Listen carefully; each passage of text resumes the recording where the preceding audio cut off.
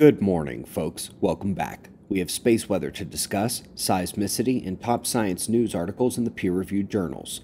Starting with our star, the flaring and eruptive activity remained at the departing group on the north, over the top right quadrant.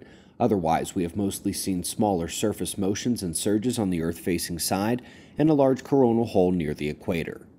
Solar wind and geomagnetic conditions are within normal range, but that coronal hole will amplify plasma conditions later this week.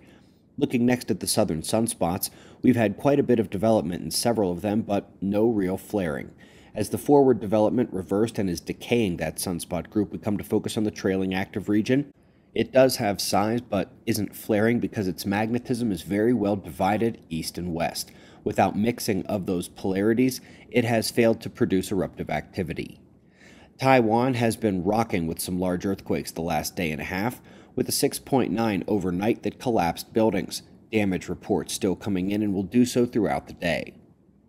Folks, we've got to look at the global electric circuit in a couple ways this morning. Remember, the sun and cosmic rays impact the atmospheric electricity flowing and the clouds, precipitation, and surface temperatures along with it.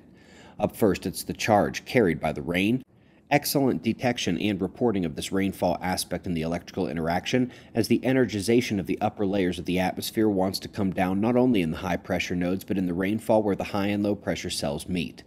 When looking at rainfall patterns overall, in proper statistical analysis, we get yet another confirmation of how solar activity modulates that rainfall to add to the dozens of similar conclusions in other papers. And the same is true for snowfall rates as well, with the bonus observation in this one that increases in sunspots and solar activity directly cause greater surface temperatures here at the ground.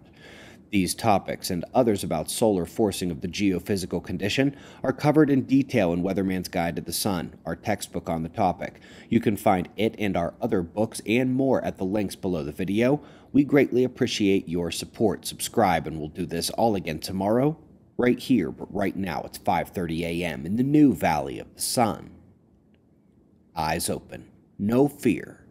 Be safe, everyone.